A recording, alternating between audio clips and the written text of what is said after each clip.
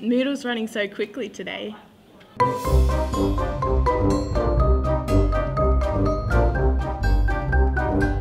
Man, I use my iClear so productively. Miss Upton's class doesn't have abandonment issues. Mr. Batman's writing is so neat. I'm so glad we have a bell. Mrs. Settle was really happy with our trial results.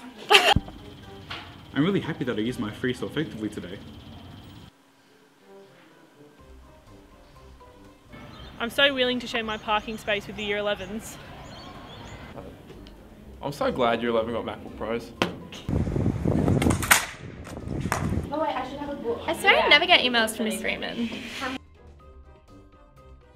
Lucky there's heaps of paper towels in the girls' bathroom. This school really needs to use a PA system. Miss Patterson is never sarcastic. Can you hear Miss Lamas? No, I swear she speaks like way too softly. Hmm. I wonder if Mr. Ryan plays golf. The United apply their makeup so well. I know, it's so natural.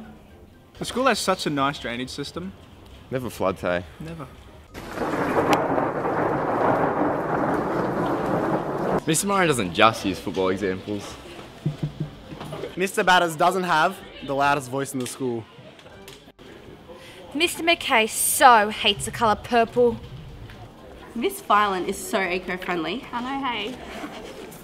You can always tell when Mr. Franti's joking. Man, I really wish they'd bring back Parrot. Hashtag bring back parrot. Mr. Robards isn't Jesus reincarnated. The canteen line is so short today. It's crazy.